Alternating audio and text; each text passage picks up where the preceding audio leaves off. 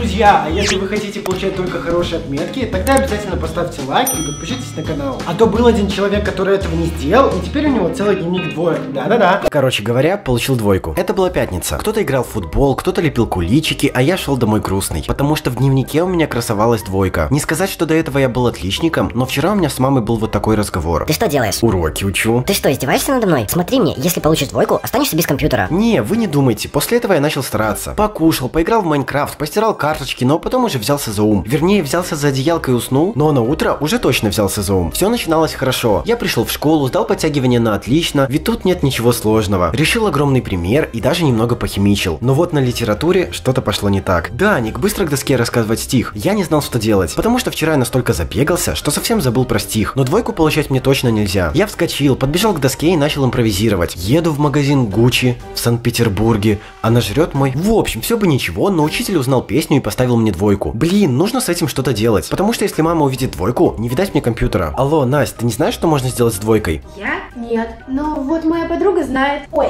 ну нет дневника, нет и проблем. Так что просто выкинь его. Так, выкинуть дневник? Ну давайте попробуем. Я разбежался, размахнулся, швырнул со всей силы дневник, но через секунду он прилетел опять ко мне в руки. Так, Настя, может еще советы будут? Ну, попробуй ее стереть. Правда, у меня это не очень получилось. Но другого варианта у меня не было. Я пришел домой, разделся, сел за стол и начал тереть эту несчастную двойку. И, видимо, слишком перестарался. Блин, теперь мне точно капец. Слушай, братан, выручай, что нужно сделать, чтобы меня не наругали за двойку? Можешь купить маме подарок, и тогда она не будет злиться и забудет про двойку. О, а это идея. Я довольно пришел домой, поставил подарок на стол и начал ждать маму с работы. Но тут она мне позвонила и сказала, Слушай, сынок, я на пару дней уехала к тете, так что покажи дневник папе. я не знал, что делать. Но тут дверь открылась и на пороге стоял папа. Ну что, сына, показывай дневник, будем твою успеваемость проверять. Я дрожащими руками протянул папе дневник и промямлил. Ну, понимаешь? О, двойка, помню, у меня таких столько было. Я уже начал улыбаться, но тут папа сказал, правда, они все по музыке были. Да и учился я по пятибалльной системе, так что придется мне тебя наказать. Короче говоря, получил двойку.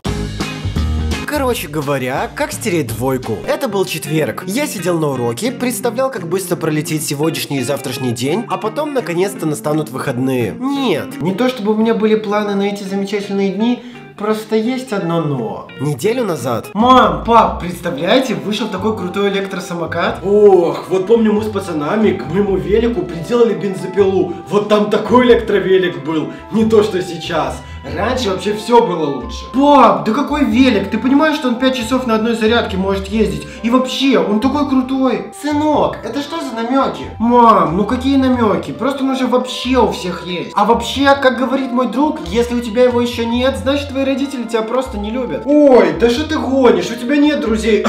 Ой, то есть ты врешь, ты это сам придумал. Пап, я что, буду вам врать, чтобы получить этот шикарный, самый лучший в мире? Ну да. И то верно. Так, если закончишь эту неделю без плохих отметок, то я так и быть тебе его куплю. Спасибо, мамуль, ты самая-самая лучшая. Э, а я... В общем, оставался всего денек, и самокат будет у меня в кармане. Ну, хотя в карман он не сильно-то и влезет, но вот кататься на нем будет точно круто. Я очень хотел самокат, прям очень-очень хотел. И даже когда закрывал глаза, вместо черного фона там было «Это я с ним дома», «Это мы с друзьями», «Это мы на море», а это... Ой, э, как вы поняли, я его очень-очень хотел. И уже целых 4 дня я смог не получать плохие отметки. Я готовил все задания, не опаздывал в школу, как вдруг... Дети, сегодня мы пишем тест на тему «Из чего состоит воздух?».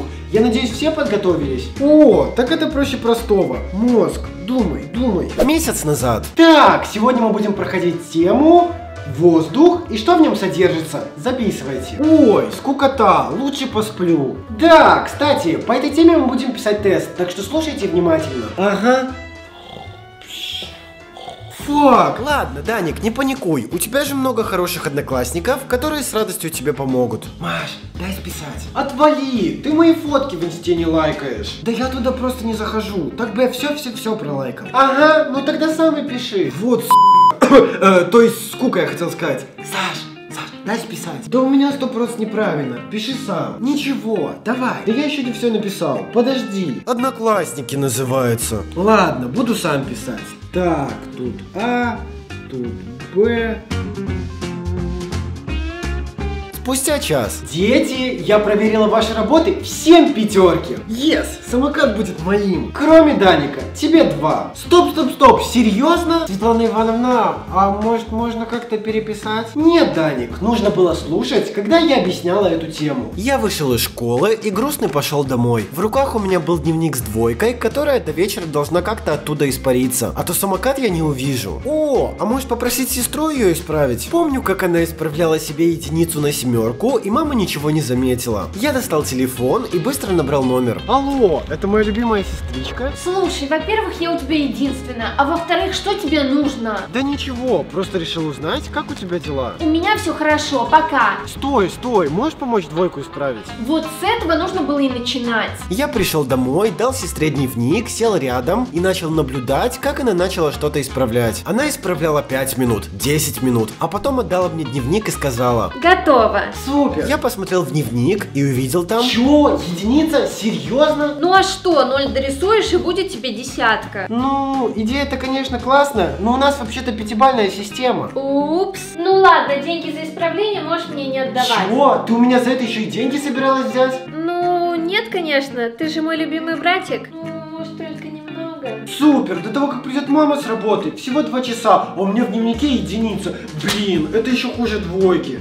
Чё? Вы получили плохую отметку? Не беда. Наша суперстирка 3000 поможет стереть любую отметку. Стирка 3000. Стери плохую отметку и не получи от мамки. Я быстро схватил телефон и начал заказывать эту замечательную стирку. Алло, у вас еще стирки остались? Извините, на сегодня уже все раскупили, но вы можете оставить предзаказ, и мы привезем вам ее завтра. Нет, завтра будет поздно. Черт, что же делать? Я начал бегать с дневником по комнате и думать, где же можно его спрятать. Точно, я же могу отнести его в гараж. Машины у мамы с папой нет, так что они туда никогда не ходят и точно его не найдут. Я зашел в лифт, спустился в гараж, нашел укромное местечко и спрятал дневник. Потом, довольный, вернулся домой и начал ждать маму с работы. Сыночек, привет! Как у тебя день прошел? Как в школе? Мам, все хорошо, а ты не забыла, о чем мы договаривались? Конечно нет, показывай дневник и пойдем за твоим классным самокатом. Мама, а я дневник это в школе забыл, но двойку я точно не получил. Правда? Ну конечно, я что, буду тебе врать? Ладно, верю. Одевайся и пойдем в гараж за твоим самокатом. А это, может лучше во двор? Не, а, там папа в гараже уже его тестирует. Упс. Ну, может пронесет, я же его хорошо спрятал. Я медленно оделся, вышел из дома и с мамой зашел в лифт. Мы спустились в гараж и увидели там папу. Он стоял с каким-то странным выражением лица и держал в руках мой дневник. Ой, сынок, а ты говорил, что в школе его забыл. А как это он у папы оказался? Мама подошла к папе и взяла дневник. А ну, гаденыш, иди сюда, я тебе покажу, как... Короче говоря, как стереть двойку. А если ты прямо сейчас подпишешься на канал, поставишь лайк и напишешь комментарий, то попадешь в следующий ролик. А вот эти люди написали больше всех комментариев под прошлым видео. И если ты тоже хочешь попасть в ролик, тогда быстрее подписывайся. Каждый школьник такой. Дети, вам все понятно? Да. А можете еще раз рассказать, почему получилось 6 в последнем примере? Я что-то немного не понял. Да, Ник, ты что, совсем тупой? Я не собираюсь тебе по 10 раз объяснять. Ой, а можете еще и мне повторить? Да, Светочка, конечно. Давай повторю. 6 получается, потому что... Серьезно? Каждый школьник такой. Дань, уберись дома. Мам, давай потом. Хорошо, я бы сама убралась, просто сегодня родительское собрание. Собрание? Да. Мам, а где еще убрать? Каждый школьник такой. Дети, я на 5 минут отойду, ведите себя тихо. Хорошо.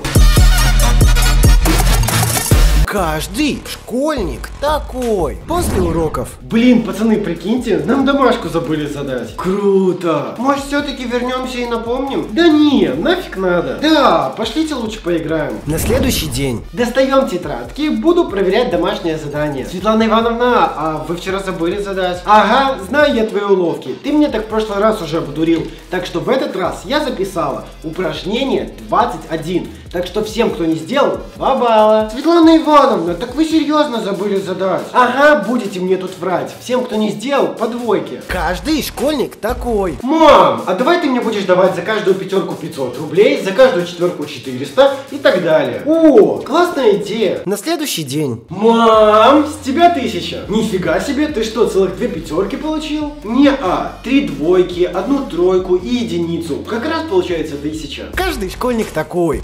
Короче, это, достаем тетради, будем писать конспект. Ну, Андрей Александрович, это же труды. Давайте, может, что-нибудь своими руками сделаем. Кормушку из металлической бутылки от пива мы делали? Да, несколько раз. А цветочек от крышек из пластмассовой? Да. Ну все, значит, к самостоятельной жизни вы уже подготовлены. Теперь будем писать конспект. Каждый школьник такой. Контрольная. Блин, чтобы получить четверку, нужно написать хотя бы три задания. Но сам я этого точно не сделаю. Может попросить у Саши? Неделю назад. Саша! Саш, дай списать. Даник, я не буду давать тебе списывать. Думай своей головой. Даник, ты что хотел списать у Саши? Я... Что я? Нет, я сам пишу. Светлана Ивановна, да, он просил, чтобы я дал ему списать. Ну все, за списывание и вранье ставлю тебе двойку. Не, в этот раз я точно не получу двойку. Но вот как списать, чтобы меня не спалили?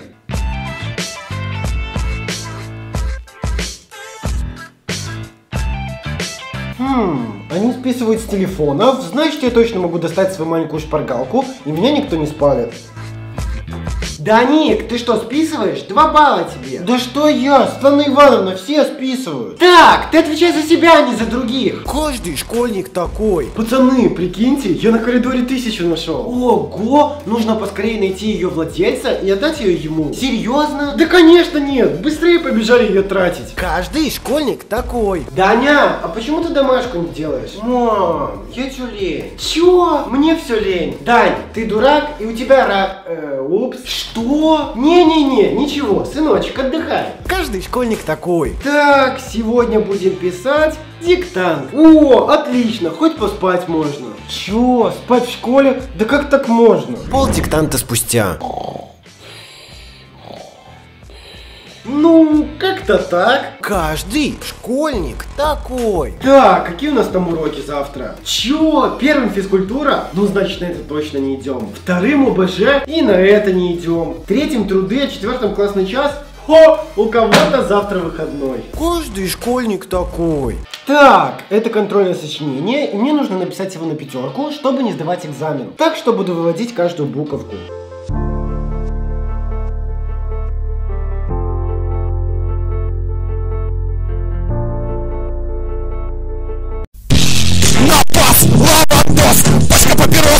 Oh, мой главный вопрос Каждый школьник такой. Сколько будет в этом примере? Можно я? 6. Правильно, ставлю тебе плюсик. Yes. Так, а в этом? 130. Правильно, тебе еще один плюсик. Блин, если я продолжу так отвечать, за работу на уроке мне поставят хорошую отметку. Да, Ник, а ты лайкнул мою новую фотку в инсте? Нет, после урока лайкну. Да, Ник, хватит разговаривать на уроке и отвлекать Свету. Но я... И да, все твои плюсы превращаются в минусы. Да блин! Каждый школьник такой. Даник, ты чего написал и шли? Ты что, с деревни? Ну...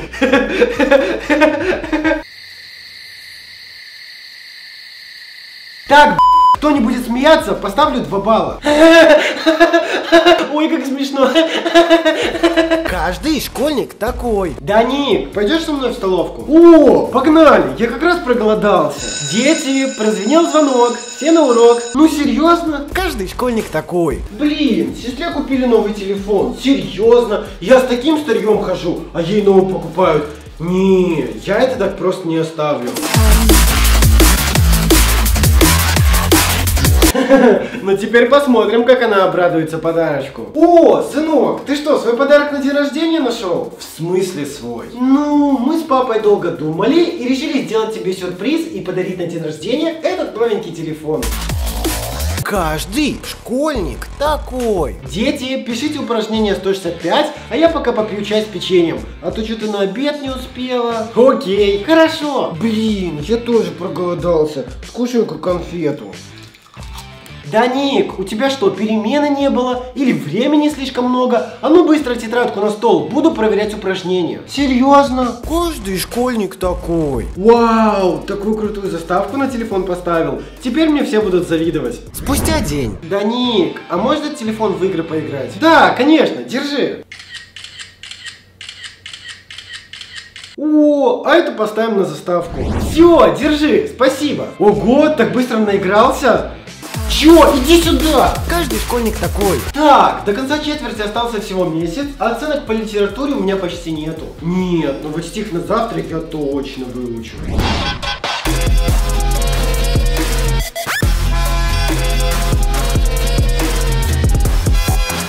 На следующий день. Так, кто пойдет первым рассказывать стих? О, давайте я. Да, Ник, ты серьезно? Ну да. Хм, ну давай. Незабудка. Твой любимый цветок. Воздушный...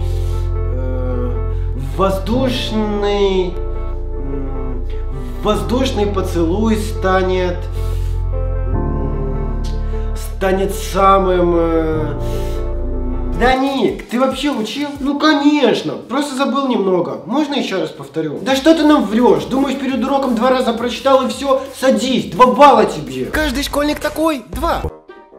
Короче говоря, каникулы. Была пятница. Брат собирался в колледж, а я лежал в кроватке и с ухмылкой смотрел на него. Ведь у меня начались каникулы. Да, те самые, которые я очень долго ждал. В голове уже были мысли, как я проведу эти замечательные дни, но тут в комнату зашла мама. Она посмотрела на брата и сказала... Я, конечно, все понимаю, но еще пять минут ты опоздаешь. Он жалобными глазами посмотрел на меня, а я попытался сделать вид, что этого не вижу. Но актер из меня фиговый. Мне стало жалко брата. Я подбежал к нему, обнял его, встал на колени перед мамой и сказал, нет, лучше я пойду в школу на каникулах, но не отпущу его на пары. Брат начал улыбаться. Но тут я вспомнил, что вчера он не поделился со мной чипсами, позавчера забрал мой компьютер, а во вторник я вообще мыл за него посуду. Я встал, засмеялся, пожелал ему удачи на парах и лег в кроватку. Так, чего-то мне не хватало, когда я ходил в школу. Хороших оценок, желания учиться, перемен по часу, ну и здорового сна. Я посидел на кроватке, оценил свои способности и решил сразу начать со здорового сна. Я лежал полчаса, час, два, три. Блин, а уснуть не так уж и легко. Я начал считать овечек, жмуриться и чучухать, как будто я в поезде, но уснуть по-прежнему не смог. Так, прошло уже целых пять часов каникул,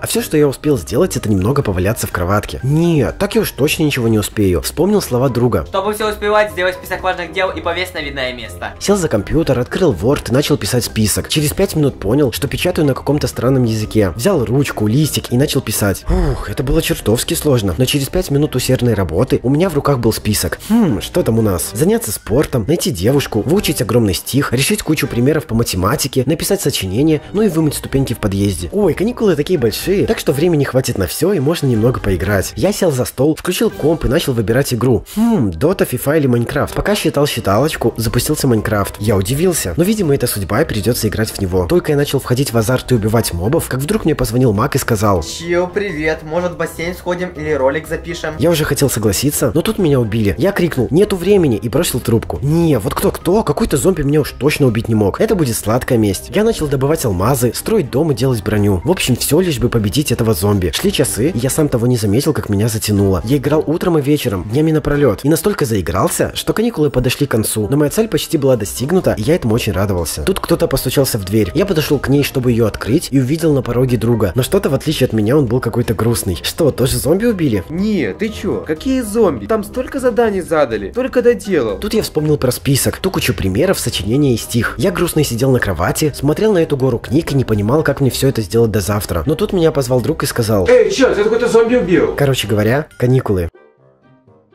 Короче говоря, ночь в школе. Это была среда. Я сидел за столом, разговаривал с другом по скайпу и кушал мандаринки. Как вдруг друг сказал... Да ты не проведешь ночь на улице, спорим? Чё? Всего ночь? Это же вообще изи. Ну да, ну да. Я закрыл ноутбук и начал думать. Блин, а может действительно провести ночь на улице? Я же смогу делать все, что хочу. Бегать по пустым улицам, петь свои любимые песни. Ну или просто заболею. Потому что на улице как бы ночь, как бы холодно, а сейчас как бы зима. Я начал собираться. Взял чемодан, сумку и огромный рюкзак. Потом вспомнил, что ухожу всего на одну ночь и мне хватит портфеля. Собрал все самое необходимое, дождался 12 часов и вышел из дома. Начал ходить по городу и думать, чем же таким можно заняться. Повалялся в снегу, полежал на лавочке и покатался на качелях. Потом достал ноутбук и начал играть в Майнкрафт. Ну да, почему бы не поиграть в Майнкрафт? Ночью, на улице, зимой. Я убил парочку мобов, нашел парочку алмазов, но потом замерз и решил заняться чем-нибудь повеселее. Но был уже второй час ночи, и улицы были абсолютно пустые. Блин, одному ночью не так уж и весело. Я достал телефон, набрал номер друга и сказал, привет, может погулять сходим? Ты серьезно?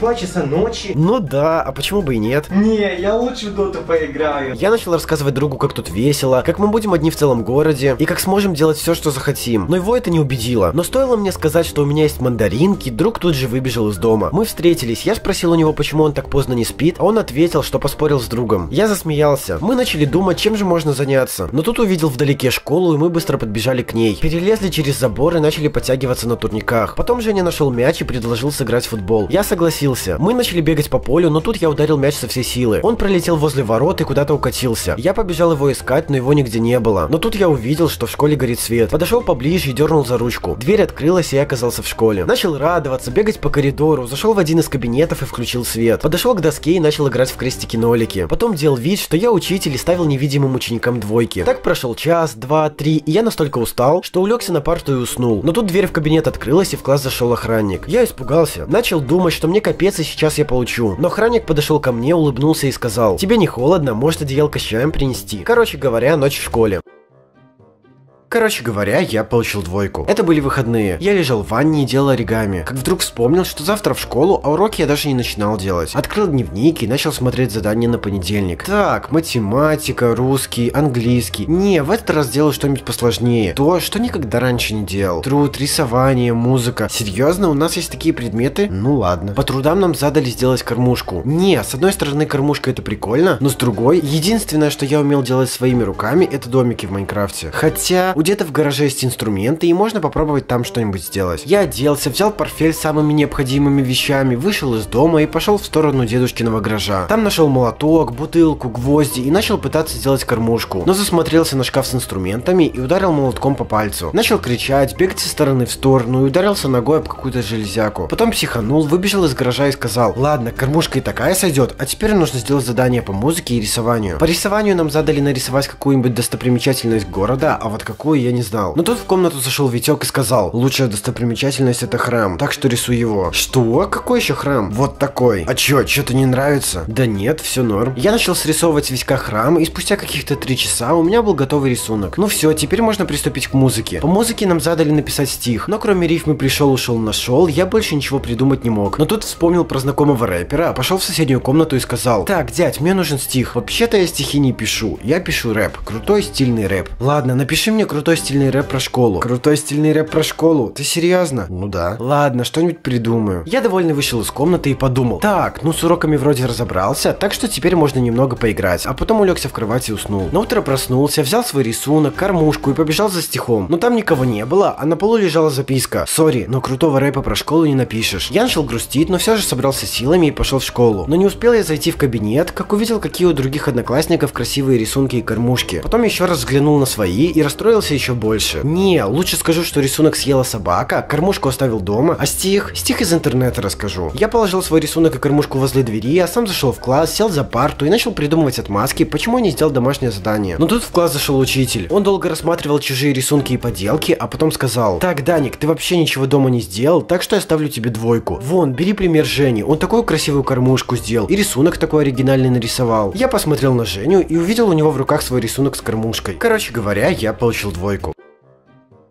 Короче говоря, я прогулял школу. Это была пятница. Я делал зарядку и собирался в школу. Но потом открыл глаза и понял, что все это время лежал в кроватке и опаздывал на уроки. Быстро почистил зубки и побежал завтракать. Но не успел я скушать бутерброд, как в моей голове появилась идея. Так, а может прогулять школу? Ведь я настолько гангстер, что в садике не спал на тихом часу, в школе мочил манту, а позавчера лег спать на час позже, чем обычно. Но было одно но. Школу я никогда не прогуливал. И поэтому я открыл ноутбук, зашел в Google и начал гуглить отмазки от школы. Так, спеть песню Фейса на уроке, чтобы учитель подумал, что я отстал и разрешил не ходить в школу. Не, ну это слишком жестко. Сломать себе что-нибудь и не ходить целый месяц в школу. Ну я что, дурак какой-то, ради школы буду себе что-нибудь ломать? Алло, Вадим, а ногу больно ломать? Ну, что-нибудь не так сломаешь, то тебе придется вставлять в ногу спицу. Ну или тебе просто ее отпилят, и ты будешь как пират. Не, ну а так не больно. Эм, спасибо. Я, пожалуй, придумаю что-нибудь побезопаснее. Притвориться, что у тебя ветрянка и намазать лицо зеленкой. О, а это может сработать. Я взял зеленку, но что-то доверия она не внушала. Хотя, что не сделаешь ради уроков. Начал мазать лицо, и не прошло пяти минут, как я стал похож на леопарда. Потом укутался в одеялке, позвонил учителю и грустным голосом начал рассказывать, что заболел и, увы, не смогу ходить в школу. Фух, вроде поверил. Так, теперь у меня есть целый свободный день, и я я смогу весело его провести. Начал пересматривать старые ролики Ивангая. Так прошел час, два, три. Нет, так дело не пойдет. Прошло уже полдня, а я так ничего веселого и не сделал. Решил позвонить друзьям и позвать их гулять, но потом вспомнил, что они сейчас на уроках. Улегся на кровать и начал грустить. Блин, а я думал, что прогуливать школу это весело. Я бы провел целый день, считая волосы на руке, но тут мне написала девочка, которая давным-давно мне нравилась и позвала гулять. Это что, сон? Я потер глаза руками, но сообщение по-прежнему было на экране. Я вскочил с кровати, побежал в ванную и начал пытаться отмыть лицо от зеленки. Но вода была бессильна. Я взял щетку, не помогло. Растворитель, не помогло. Вилку, вот, теперь все отмылось, я был готов идти на свидание. Оделся, вышел из дома и побежал в сторону кафе. И вроде бы ничего не могло испортить этот прекрасный день, но тут из-за угла вышел учитель. О, Даник, привет. А ты что, прогуливаешь? Не, вы что, у меня ветрянка. Ага, а зеленка где, смылась? Ну,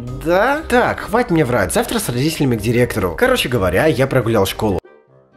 Короче говоря, пятерка. Это был понедельник, за окном светило солнышко, но почти. А я валялся в кроватке и смотрел на будильник. Тут в комнату зашел друг и сказал, я, конечно, ни на что не намекаю, но через пять минут тебе нужно быть в школе. Я посмотрел на него с пафосным взглядом и сказал, вообще-то я никуда не спешу. Друг засмеялся и сказал, ага, ага. Я быстро вскочил с кровати, оделся, умылся, покушал выбежал во двор. Как вдруг понял, что уже давно не лето и не мешало бы одеться потеплее. Вернулся домой, надел шапку, куртку, носочки. Выбежал из дома и побежал в сторону школы. Мы зашли в школу и услышали звонок. Блин, теперь придется придумывать, почему я опоздал. Даник, быстро в кабинет и попытайся объяснить, почему ты опоздал. Ну, понимаете? Я начал рассказывать учителю о том, что в третьем классе я сломал руку, в четвертом меня покусала собака, а позавчера я ударился мизинцем об дверь. И из-за этого ты опоздал? Не, из-за этого у меня шрам на шее, сломанная рука, ну и мизинец немного болел. А в школу я просто не успел. Учитель посмотрел на меня, я посмотрел на него, и у нас начался батл глазами, в котором он проиграл и сказал, ладно, входи. Я вошел в кабинет, сел на свое любимое место, достал тетрадку с ручкой и приготовился к уроку. Но тут учитель сказал, так, тема сегодняшнего урока сочинение. Задание для каждого. Написать дома сочинение, а завтра принести его мне. Весь оставшийся урок я сидел грустный. Потом пришел домой, улегся в кроватку и начал писать сочинение. Так прошел час, два, три. Но у меня на листочке по-прежнему было всего пару строчек. Я проснулся утром, возле меня была куча скомканных бумажек и написанное сочинение. Я начал радоваться, схватил листочек и побежал завтракать. Потом довольно пришел в школу и зашел в кабинет. Положил листок с сочинением на стол рядом к другому сочинению и начал ждать учителя. Я ждал 5 минут, 10 минут, 20 минут. Тут в класс зашел учитель, сел за стол и начал проверять наши сочинения. Он долго что-то исправлял читал, зачеркивал, а потом сказал, Даник, странно, но ты написал сочинение на отлично, и мне придется поставить тебе пятерку. Я начал радоваться, выбежал из школы, зашел в магазин, купил мороженое, пришел домой, улегся на кровати и начал довольно играть в Майнкрафт. Но тут зазвенел телефон. Это был учитель. Слушай, Даник, в общем, я тут напутал, и это сочинение было Жени, но тебе, как всегда, двойка. Короче говоря, пятерка.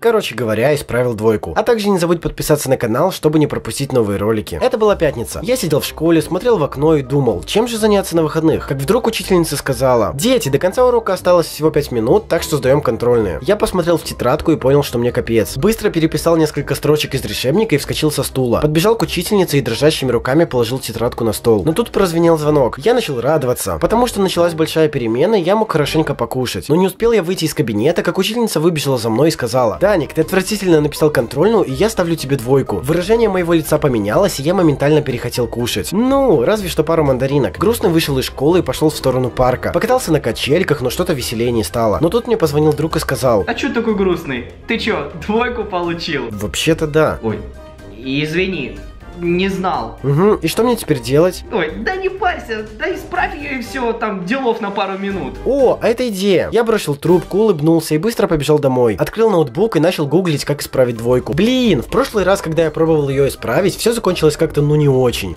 Не, в этот раз я таких ошибок не допущу. Я достал телефон, набрал номер Вадима и сказал, Чел, я знаю ты в этом спец, в общем, как мне исправить двойку? Ой, да не парься, просто возьми и вырви страницу. О, а это может сработать. Я пришел в школу, уселся за парту, достал дневник и вырвал страницу с двойкой. Но это заметила учительница и сказала, так, дети, тут появились слишком хитрые, так что из-за Даника завтра у нас родительское собрание, на котором должны быть все родители. Я посмотрел на злой класс и понял, что мне капец. Короче говоря, исправил двойку. Друзья, ну вот на этом и все. Если вам понравился ролик, тогда обязательно поставьте лайк и подпишитесь на канал. Ну а когда на этом ролике будет 30 тысяч лайков, я сниму третью часть каждого школьника такого. Ну и как обычно, пишите смешные школьные ситуации в комментарии, вы их можете как придумать, так и написать то, что было с вами или с вашими друзьями. Главное, чтобы было смешно. Их всех я буду лайкать, а лучшие попадут в следующий ролик и получат сигну от меня. А также не забудьте посмотреть парочку прошлых роликов, которые сейчас появятся на экране. Ну а я побежал, пока-пока.